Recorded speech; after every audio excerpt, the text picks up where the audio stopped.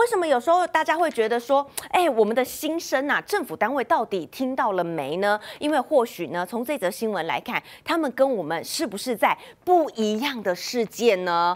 好，这一位呢是行政院的主计长朱泽明。好，朱泽明呢也被号称啊，这个职位呢是政府的大掌柜。昨天呢在立法院质询时，真的是让大家大开眼界，因为呢，呃，这个质询的时候呢，立委罗明才就问了个问题，请问竹记长，现在一碗俄阿米耍多少钱？结果你知道吗？他的回答是大概一碗二十元。我的天哪！我真的很想问主计长，你去哪里吃的俄阿米刷？你一定要报给大家知道，二十元可以吃到俄阿米刷。你到底知不知道说现在的小吃的物价到底是多少钱呢？聊天室里头，欢迎大家跟我来做互动，留下。你的所在地告诉我，你们那边卖俄阿米刷，或者是大肠面线，或者是有什么特色的面线，到底多少钱呢？好，这边有网友的回报，我先跟大家来回报哈，在我们新北有一家，哎，料多实在，叫做三宝面线，没有骂人的意思，它真的叫三宝面线，因为它加了三种料，加了大肠、鹅啊，然后还有肉羹。好，这家面线呢，最近都看到它在排队，因为呢，它一碗料这么多，五十元。哎，算是平价了吧？好，加了三种料。来，我们来看一下，好，北中南东，好，大家的网友的家乡阿米耍哇这鸡，网友回报，台北小的五十五哦。你看我刚说五十，是不是料多实在了？好，大碗要七十，哎，各位七十已经是现在不能说一个便当了，因为现在七十元哦。一个便当，抱歉，你可能也买不到。在台北的话，在台中，好，小碗四十，大碗六十。台南呢，小碗四十五，在花莲，小碗也要五十。不好意思，请问一下主机长，大概一碗二十元，你到底是在哪里买的呢？好，被呛完之后呢，好，今天呢又被问到，请问主机长，你是否不食人间烟火？就没想到他再一次的神回复，告诉大家说。我不抽烟，这是什么样的一个回答呢？好，我们来回顾过去呢，他也曾经说过，好一些，好有关于这个物价的部分，让大家觉得很难接受。你到底知不知道现在的价格是多少呢？首先来看二零一八年，当时就被问到说卤肉饭涨多少钱？哈，应该是跟猪肉涨价有关。好，但但是他当时就直接回答，我不吃卤肉饭。好，我觉得你不吃可以，但是你也该知道那个价格吧。再来呢，隔一年又被问了，好，水饺涨多少钱？好，这都是生活日常。好，我们一一般老百姓呢，很常吃的这些卤肉饭、水饺，结果呢，他居然回大家说正院餐厅没涨。好，从这边来看呢，很明显啊，他就是不知道多少钱嘛，难怪讲都讲不清楚。专门管物价的主计长说，一碗面线只要二十元，全民大炸锅。朱泽明隔天这么解释，再让大家秒崩溃。有听到那个呃说那个“哇”的两个字，我以我以为是只有面线，谢谢。可是只有面线，说你不食人间烟火，哎，是面线二十元的意思吗？是慌了还是耍嘴皮？问你不知民间苦，朱泽明竟然说自己不抽烟，在场媒体全傻眼。这一碗二十元面线的故事，笑歪整街。有三十五块、四十块吧。那有买过二十元的阿米刷吗？五十年前可以。标准答案，小时候。连客望者都吐槽，这价格真要做时光机才买得到。回顾朱泽明过去三年，不知物价早不是头一遭，歪楼金句还真不少。卤肉饭从。去年到现在涨多少钱呢？我不吃卤肉饭，谢谢。我不吃卤肉饭，水饺涨到五块钱。来行行行政院的餐厅，他的水饺到现在我吃了好多年都没有涨。有人揪出这主计长在大安区有九十八平土地，加上存款上千万，珠宝上百万。有人亏，难怪对小老百姓的物价很冷感。网友说：“你问他卤肉饭、水饺、面线就错了嘛？应该问他鱼翅价格才会答对啦。根本是三宝主计长，民进党热面的国家大掌柜，怎么会不懂物价？我自己本身都不贴近明末。”那你怎么可能做出精准的计算呢？那你这个人怎么会适任这个职位呢？你怎么去担当主计长呢？这种不适任的官员，真的最好赶快回家睡觉。呃，而且他好像每次问他都不知道，是坐在房里面冷气房里看数字了，必须要真实了解人民的感受，要接地气。这样才能苦民之苦了。国防部长长懂军事，财经首长得懂财经，但关物价的主计长却老是说不出物价，成了政界奇葩。记者吴俊伟、李璇，S G 小组台北报道。好，各位现在知道了为什么有时候我们的声音啊，政府都听不到吗？琪琪，桃园小的五十，大的六十五，哎，大六十五还算便宜耶。萝卜头这里的大肠面线五十五，哎，萝卜头你是在哪里？然后蔡立伟在湖尾，哦，这个厉害，大肠面线小碗三十，大碗五十，好，POLA 样便当一个九十五，没错，在内湖现在呢，便当差不多九十到一百出头都是有的。好，最近我们就来看了，呃，但是呢，呃，物价都在涨。你的薪水有涨吗？好，基本的工资审议委员会在今天登场了。劳动部长许明春呢，昨天在立院询答的时候呢，就定调说，呃，调涨的这个势不可挡，而且呢，还说呢，最少是会调百分之三，有希望。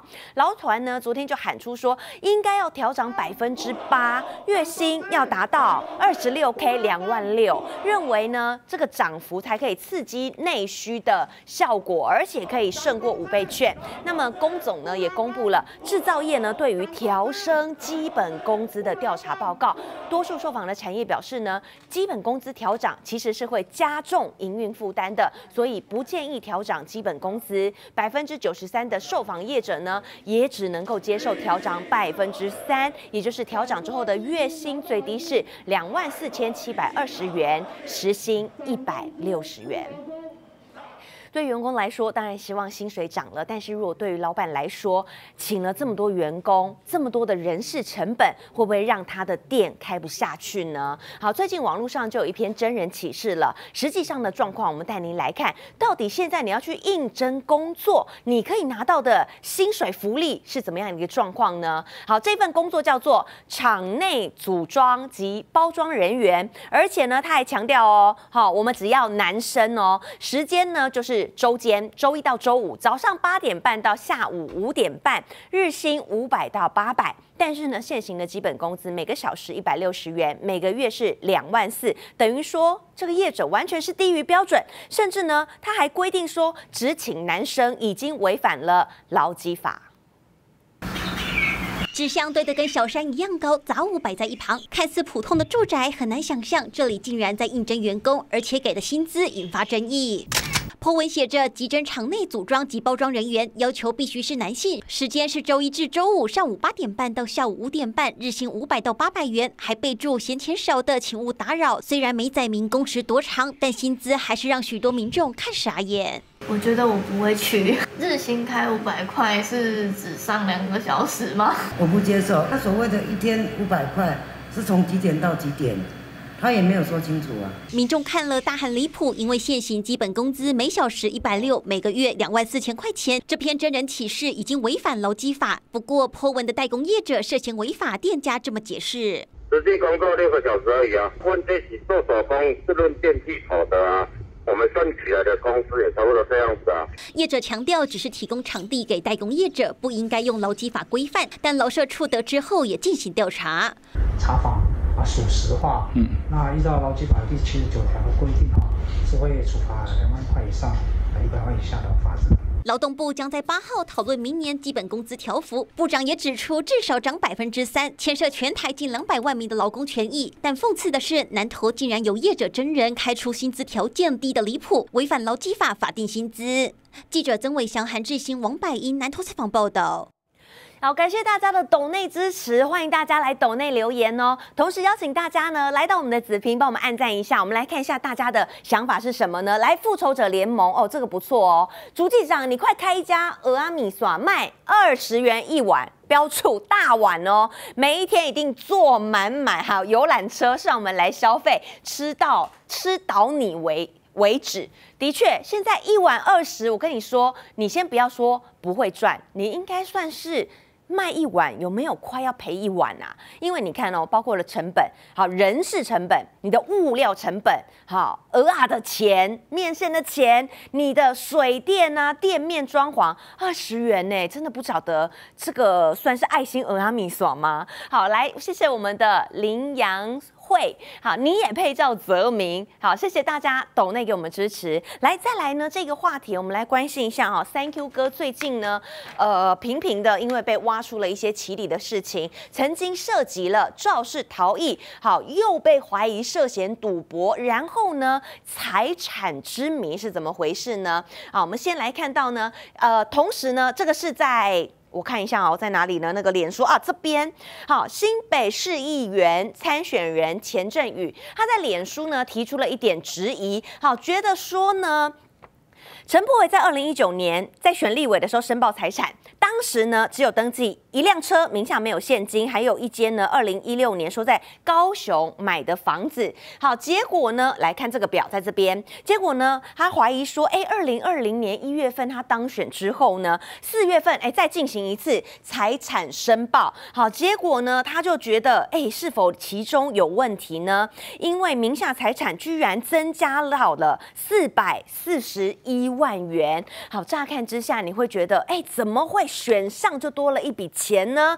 好，其实呢，陈柏维他也有出来，而且是深夜哦，赶快现在风头上很多的问题，开直播告诉大家这个钱哪里来的呢？好，这个四百四十一万呢，他说这个是选举。补助款，好，他也觉得很无奈。好，他强调说，这个真的是选举的补助款。最近他被铺天盖地的攻击，他说对他的人格造成毁灭。那么钱振宇也表示呢，其实也乐见哦，被大家提出质疑。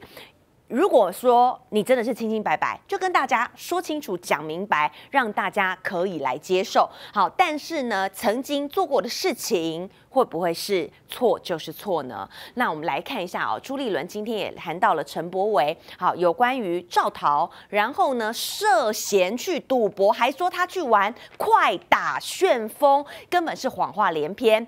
那么朱立伦呢，今天南下高雄，参加了国民党高雄市主委的布达典礼。那么陈柏维被爆出说有这个涉嫌赌博的事件呐，朱立伦就表示了，要是。要有这个是非对错，好，台中的海线民众呢，也需要认真问政的立委，而且行为举止要符合民意代表准则的人，呼吁大家呢，在十月二十三号踊跃出来投票。今天只有是与非，啊，对与错，就是今天民众对于啊。尤其是台东海区的民众，他会针对于他们选出来的民意代表，第一个在立法院有没有认真努力的问政，第二个个人的行为举止有没有符合一个民意代表的准则，我相信他们会做出一个最理性的判断。啊，这个周末开始，包括有很多的，我知道很多的立法委员或很多党内的同志，都会去那边跟民众来诉求，希望大家都能够出来投票。